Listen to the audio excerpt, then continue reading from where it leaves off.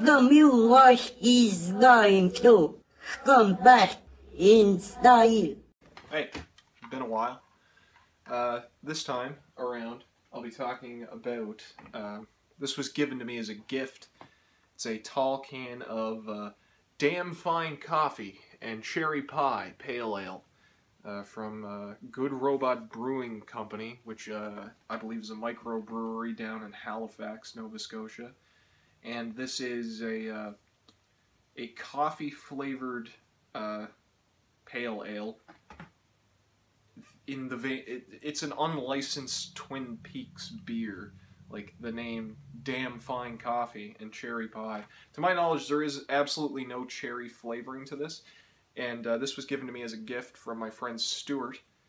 Uh, they have two varieties of, uh, or there's two cans, anyways, and uh, the one that he had, that he was telling me about, uh, had uh, Dougie Jones on it, like sticking the fork in an electrical outlet from Twin Peaks: The Return season three. This one has a lovely illustration. Get a little closer to the camera of a cup of coffee there, and then uh, there's a telephone. Call for help, I guess, I don't know. And then over here we've got, uh, well, I, I, can only assume that's supposed to be Leo saying, uh, new shoes. He's got a kazoo in his mouth, sunglasses on, and you can see the little owl cave uh, symbol, the Judy symbol, I guess, on that party hat he's wearing. So, uh, Stuart gave this to me and he uh, requested that I do a video on it, so I'm gonna drink it. The only other coffee flavored beer I had was something that Alexander Keith's produced uh, in their kind of like microbreweries have been kind of blowing up in Nova Scotia lately, and uh, Keith's produced a series of, uh, you know, I guess indie beers as indie as it can be coming from the biggest brewery in the province. But it was called Lunenburg, and it was coffee flavored. I thought it was fine. I haven't really had it since, but uh, that's my only frame of reference for this. Uh,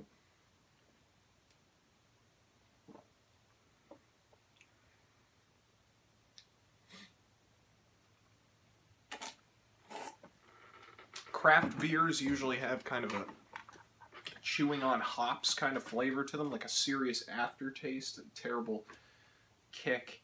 Uh, this is relatively smooth. I'm not tasting a whole lot of coffee to it.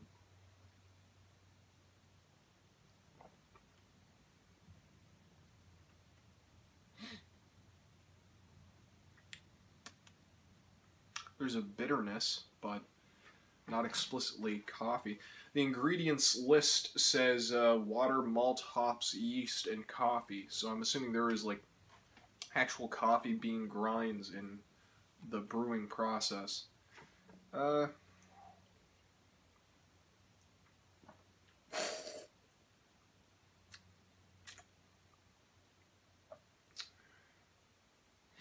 I don't know, that's unremarkable, I guess is the word I would use to describe it.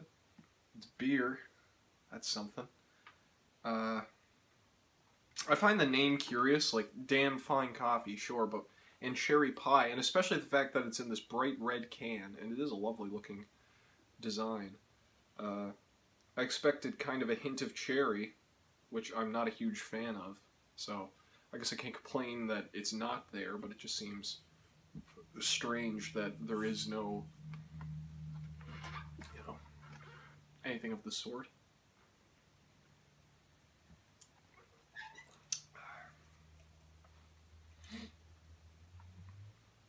This is 5.1% alcohol. Uh, yeah, I don't know. I don't. I don't really know what you're looking for out of this, Stuart. It's fine. It's not damn fine, but it's it's adequate. I couldn't see me putting a ton of these away, but it's not unpleasant.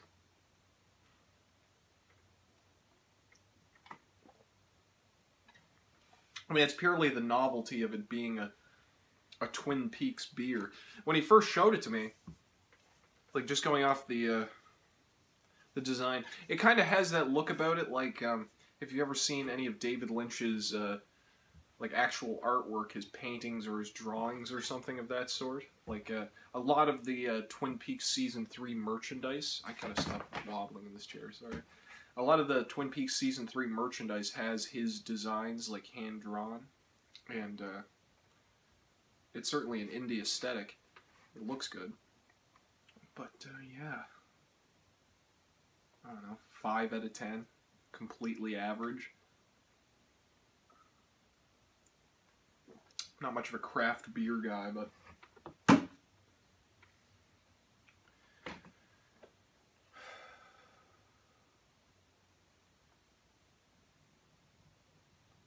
no aftertaste, which is nice.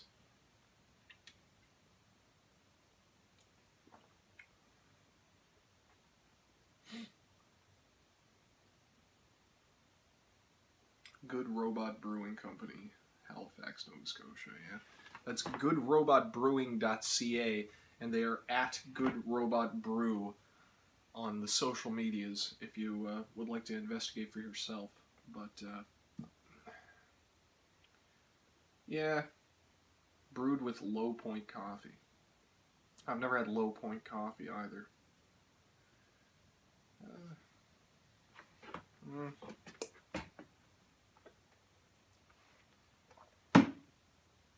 Yeah, I don't know. I don't know. I'd call it adequate.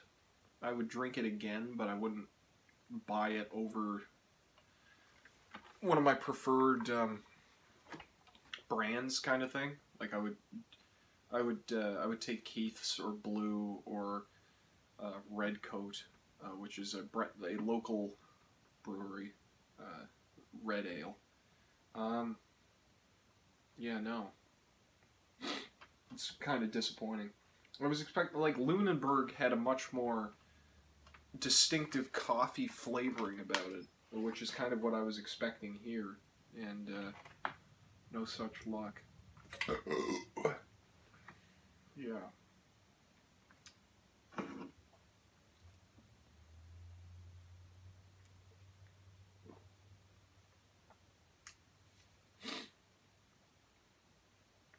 I don't know. I've been meaning to rewatch Twin Peaks lately. It occurred to me that it's been two years since uh, season three aired, which was the most exciting like television event that I've ever uh, been alive for. Like the lead up to it, and uh, every single week, like the buzz around the show was incredible. Every single episode was you never knew what to expect, and every time you walked away in like this kind of there was like a little bit of frustration to it, but there was an excitement, a genuine excitement, and an appreciation for the art of it, and uh, it just kept getting better and better. And the ending, the way it ends, leaves you wanting for more, in a way that uh, I guess Twin Peaks season two did as well. But uh, yeah, I'm very disappointed by this. I'm gonna finish it, but. Yeah.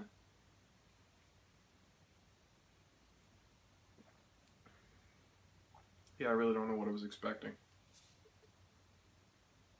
Something better than this. Probably not going to upload this video. We'll see. Thank you for watching. Hello?